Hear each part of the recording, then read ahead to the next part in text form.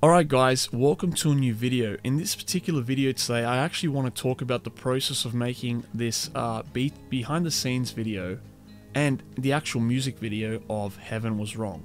Now, this is a really fun one and it was between me and Saray, uh, the guy, his name is Josh, Saray is his uh, music name, and sort of the production and the behind the scenes of how we did it. Now, I shot that with uh, this right here, the Sony a7S III, uh, which is an incredible camera. Uh, at the time, I didn't have the Sony a7 IV, but this one held its own really well. And I was using uh, the Zeiss 18mm Batis 2.8 and the Batis 25mm f2, which are incredible lenses, and I highly recommend them. And I'll look at doing a review on them sometime in the near future.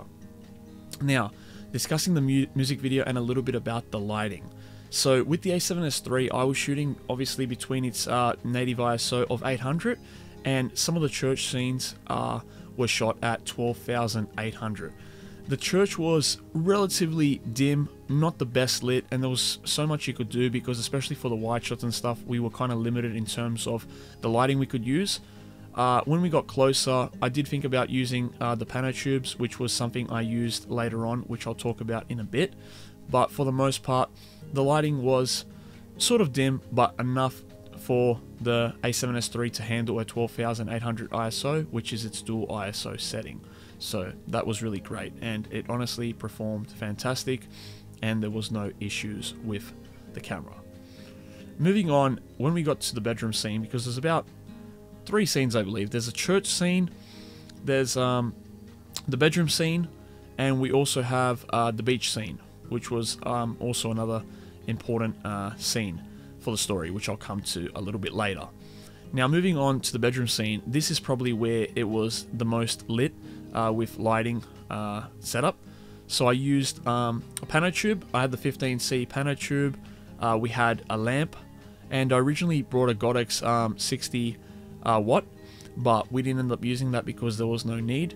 The PavoTube performed honestly uh, fantastic, and it really is an incredible light uh, to carry with you. I have the 4 pack, and I highly uh, recommend it. So, that being said, that was lit with those two lights, the lamp and the PavoTube, and as you can see, it looks incredible. We had a fog machine as well, which we used to kind of set up the mood and the aesthetic of the shot. Um, you know, obviously in this scene, um, the character is very depressed. The story uh, of the song is about um, Josh, uh, the character, and um, you know the the guy singing, sorry, uh, losing his grandfather, and so it's a very dear and personal, intimate song. And in this particular scene, um, he's very depressed. He's drinking, he's smoking, and we wanted to kind of create that mood and that kind of aesthetic. Blue sort of being a little bit more cold, and visually it looked great as well. And then moving on to the beach scene. Now the beach obviously was all naturally lit. It was just me, um, Josh, and his father, who played a small role uh, towards the end of the music video. And um, yeah, it was all naturally lit. I mean, like choosing the right timing of the day uh, is really important. I I definitely don't recommend shooting on a very harsh day because then you're going to have very strong shadows, especially like when you're shooting, like uh, for example, early morning uh, to that kind of late arvo when the when the sun's really strong. I generally find sort of like midday, depending on you know uh, uh the sun and uh, what kind of day it is. But I generally prefer to shoot um, overcast. That's sort of my favorite kind of weather, or um, just after rain, which is also really nice as well. But we had a really nice day. Um, it wasn't too sunny. It was great, and um, luckily the lighting was pretty even, which I was really uh, happy about. And um, we ended up spending about, I'd say, a solid hour um, getting all the shots we needed for this, and um, it was really great.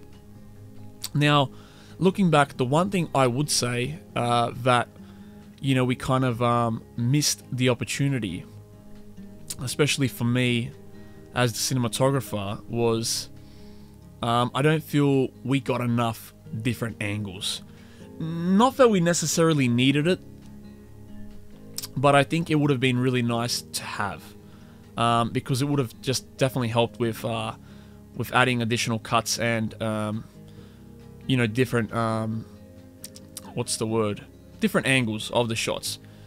But at the same time i feel the way we did it ended up cutting beautifully anyway so yeah but yeah for the most part it was just me and josh uh, throughout the production uh, very low budget um, we pretty much used my gear um, we got the church um, because you know Josh knew someone from there, so we got very lucky with that as well.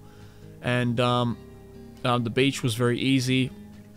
The shot in the bedroom was done at um, his place, um, at his grandma's place, so we got also very fortunate with that as well. So yeah, I mean like when doing a low budget music video and wanting to make it look professional, it's definitely very possible. the main thing is having a kind of understanding of where you want to shoot it and sort of creating the music video around that. You know, me and uh, Josh kind of spoke about this beforehand. We kind of spoke about what we wanted to do, what our kind of plan was, where the scenes were going to be, and how we could, you know, make do without any costs involved whatsoever. Because sometimes when you're getting a location, you need permits. Sometimes there are costs involved. You know, you need to wait for the owner to get back. The way we did it was really flexible for us and really easy to work with, and that worked for us. And that may work for you guys, or it may not, depending on the situation. But I definitely recommend doing a lot of pre production beforehand when shooting a music video to kind of understand what your limitations might be, what to expect, and that there's no hidden surprises when you get there or before you get there for that matter. So, something to think about. But all in all, I think the music video turned out really great. Uh, it's not currently out at the moment as this video is going to be uploaded. However, once it is, there will be a link in the description uh, with the music video, which will be on Josh's channel once it's released. But all in all, guys, um, I hope you enjoyed these clips throughout um, the music video, just showing you guys some, some behind the scenes of how we did it. And if you enjoyed the video, I'd really appreciate if you gave it a like. If you haven't subscribed yet, please subscribe. And as always, guys, I will see you guys on the next one. Stay safe, be well, see you guys soon.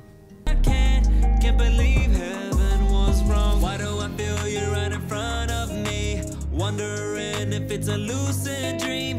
I only stare at you in photos.